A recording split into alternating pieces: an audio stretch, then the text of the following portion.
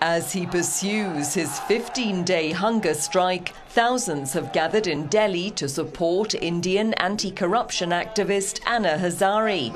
After starting the fast in prison, his protest, evoking memories of independence icon Mahatma Gandhi, is now very much a public affair.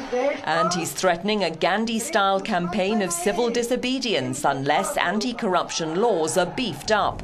As the national press ran articles praising him Parliament published adverts in newspapers asking for a public input into anti corruption legislation. It's a sign of compromise from the authorities as Hazare supporters demonstrate across the country. This man climbed a 15 story building in Mumbai in solidarity with the 74 year old's aims. These students took to the streets of West Bengal. India's Prime Minister said today he is open to dialogue.